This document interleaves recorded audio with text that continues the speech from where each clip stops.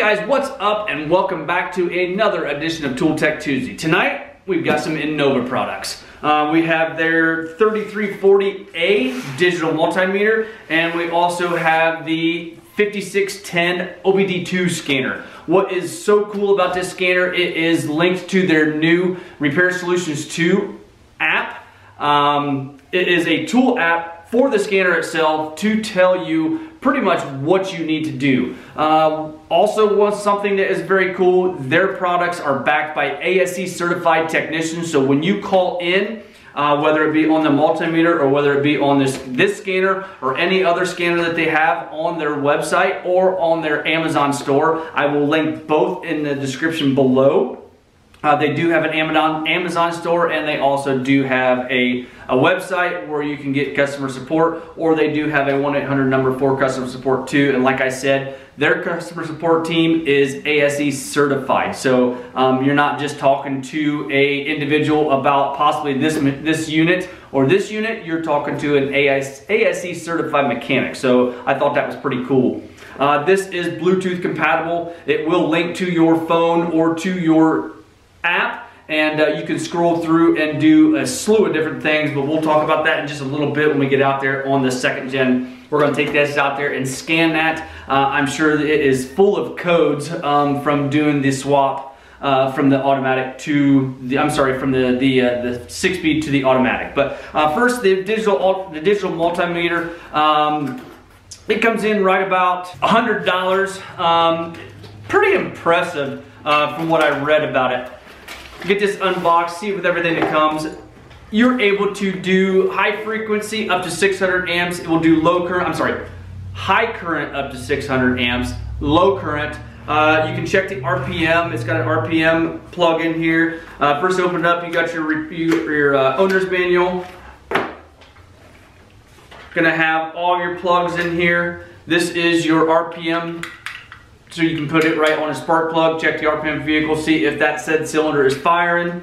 Um, it does have a temperature sensor. Uh, you can do pulse width with it. Your, like I said, temperature sensor, uh, resistance, uh, voltage, AC, DC, uh, check batteries, whatever you want to do with this scanner. Um, the multimeter is, it, it is the, the sky's the limit as far as this. Uh, you guys know I use the Power Probe quite a bit. Um, and I did see on their website they do offer a power probe type tool uh, that is new to the lineup. So you guys get a chance to get on there and check that out. One of the things I thought was cool about this digital multimeter is you can have it on your wrist so you have your hands free and constantly checking the screen um, to see what you need to see whether you're checking a fuse whether you're checking resistance whether you're checking the voltage of uh, voltage drop on a O2 sensor, whatever it may be. Uh, you got everything right there and you have your hands free to be able to check it. So um, get a chance,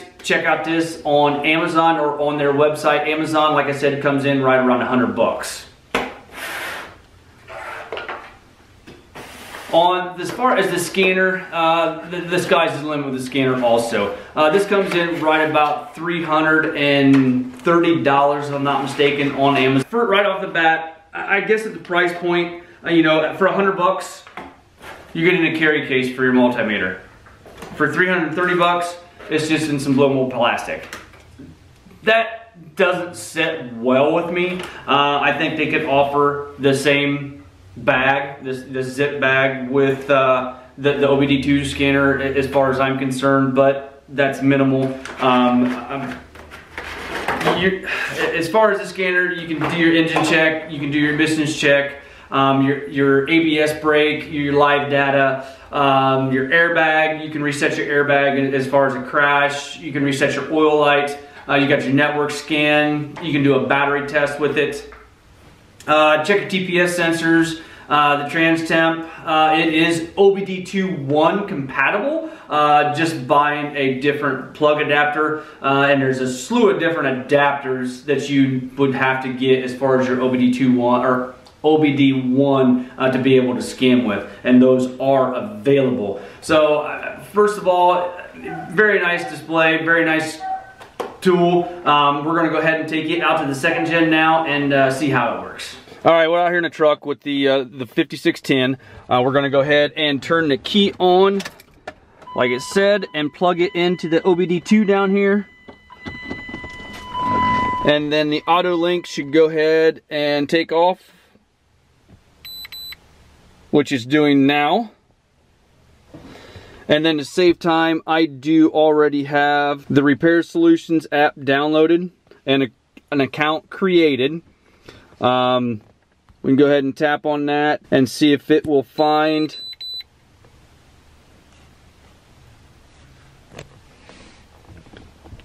Right there's the 5610.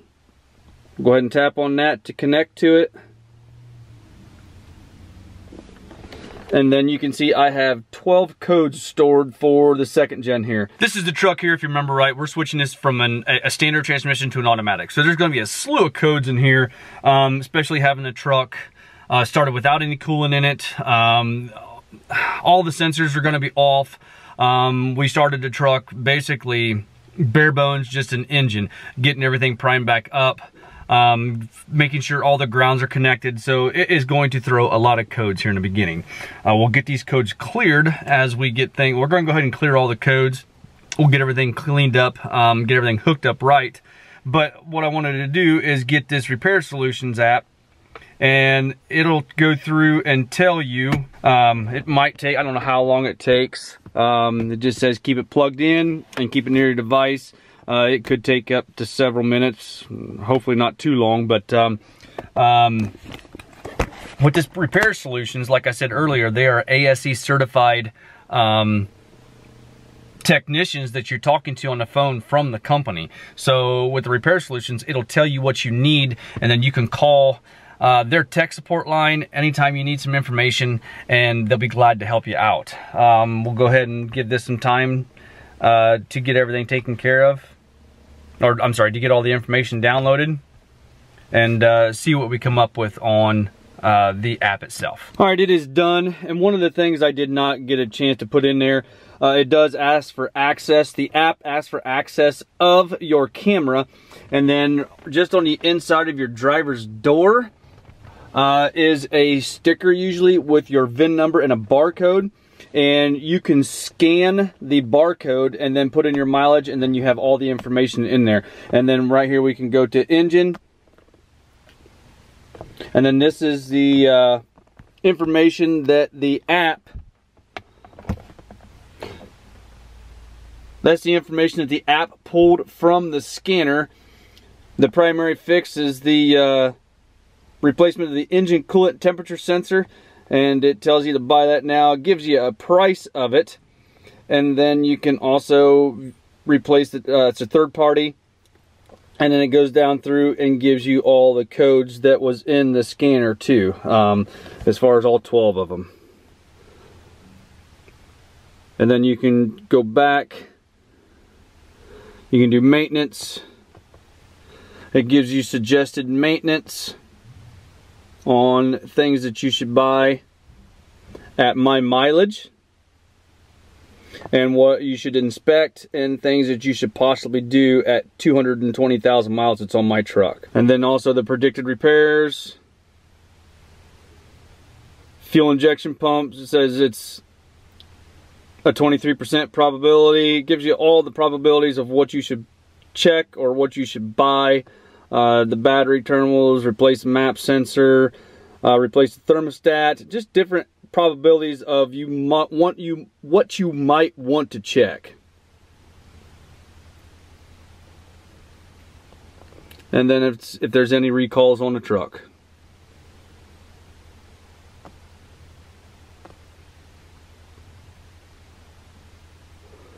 These are dealer recalls here.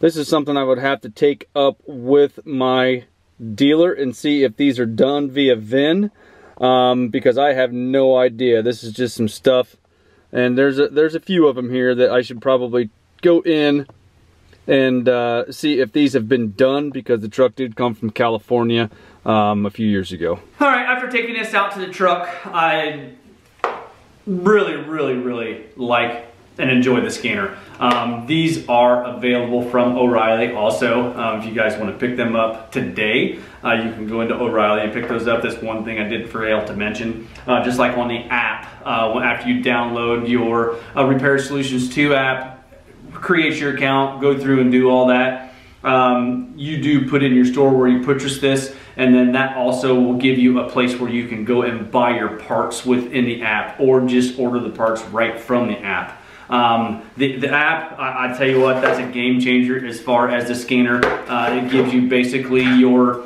mechanic right there within the app. So you can just, uh, in some place, in some cases, it does actually show you the part uh, that you will be ordering, whether you order it or take it into uh, O'Reilly Advanced uh, Autos, wherever you so choose to take it. Uh, it will give you that and also the part number. That I thought that was really really cool. Um, the only issue I had and is the it's it was slow to upload, but that could be just the speed within you know my house. I'm in the driveway, uh, everything's in the house, so um, that could be the issue too. You know, I'm got a four walls that it has to go through as far as the pickup signal. Uh, it did take just a little bit for it to upload. Um, so, and also the bag. I, I, like to keep stuff like this in a bag, uh, just not just thrown in my toolbox. There's really no place to keep this um, unless you can go online and find a bag kind of like this. I'm sure Amazon has a slew of those different bags. So that's really my only issue uh, with it. Uh, those are two issues there is the speed of the app. And like I said, that could be my issue with the speed of my internet and, and carry case. Other than that, pretty impressed with the Innova tools. I really encourage you to check out their website, see everything they have to offer. And also, if you want to check out Amazon, their Amazon store, everything that's on their website is on their Amazon store and vice versa. So, guys, Innova, check them out. Other than that, that's pretty much all I have. If you don't mind, hit that like button, give me a thumbs up, subscribe if you have not already done so, and we'll see you guys in the next one.